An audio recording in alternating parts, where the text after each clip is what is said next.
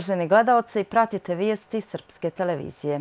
Podpredsjednik vlade Milorad Vujović te ministri rada i socijalnog staranja i poljoprivrede i ruralnog razvoja Boris Marić i Budimir Mugoša ostaću u vladi izbornog povjerenja. Konačnu odluku o načinu nastupa Socialističke narodne partije na izborima donijeće glavni odbor partije, čija će se sjednica najvjerovatnije održati 31. augusta. Izvršni odbor SMP-a razmatrao je pitanja priprema za izbore, sprovođenja kampanje, kao i oblike zajedničkog djelovanja, uključujući i mogući koalicijani nastup. Potpredsjednik socijaldemokrata Damir Šehović izjavio je nedavno da su od osnivanja preuzeli sve aktivnosti u funkciji pripreme za samostalan nastup. O tome kako će nastupiti na parlamentarnim izborima, socijaldemokrate Crne Gore će odlučiti u ponedjeljak 29. augusta.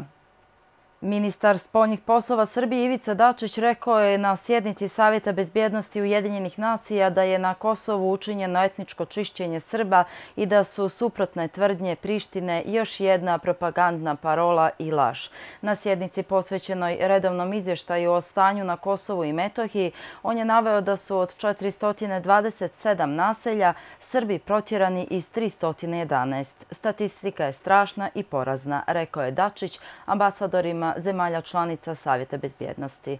Ministar spojnih poslova Srbije istakao je da je Srbija posvećena dijalogu Beograda i Prištine i insistira na formiranju zajednice srpskih opština koje, kako je naveo, nije dat adekvatan značaj u izvještaju generalnog sekretara Ujedinjenih nacija.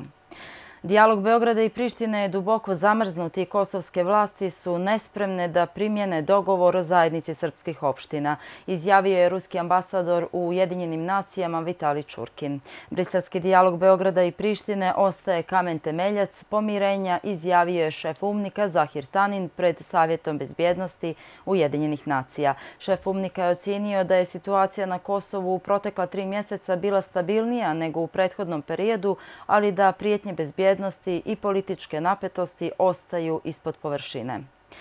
Kosovska ambasadorka u Sjedinjenim američkim državama Vljora Čitaku rekla je da postoji kontradiktornost kada je riječ o primjeni briselskog sporazuma, tvrdeći da Srbija to pitanje koristi kao pokriće kako bi se miješala u unutrašnja pitanja samoproglašenog Kosova i da bi održala paralelne institucije.